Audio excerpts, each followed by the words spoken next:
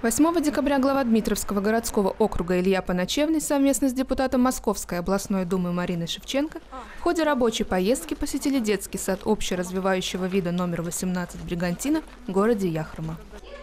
Целью визита стало не только определение степени оснащенности учреждения и условия обучения воспитанников, но и оказание помощи со стороны администрации округа.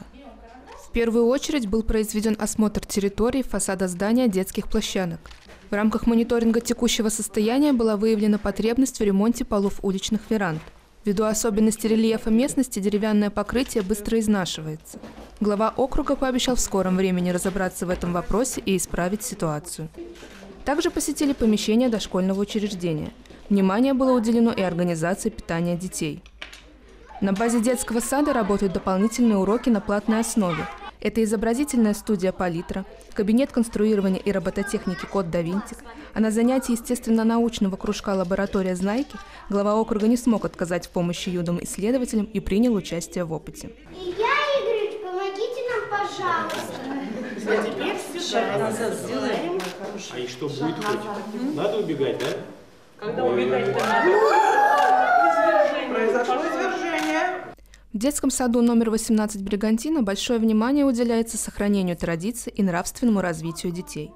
Работает экспозиция «Русская изба», а также воспитанники могут посмотреть диафильмы и окунуться в мир сказок. Особенностью нашего детского сада является то, что а, мы являемся региональной площадкой федерального проекта «Современная школа» национального проекта образования.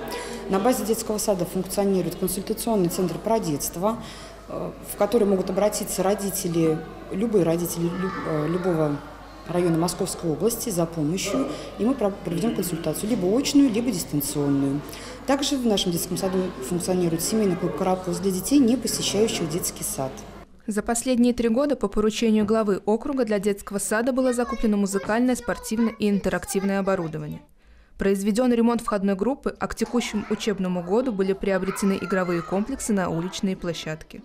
По окончанию рабочей поездки глава Дмитровского городского округа Илья Поначевный отметил сплоченность коллектива и отношение к работе, которая является фундаментом развития и процветания детского сада.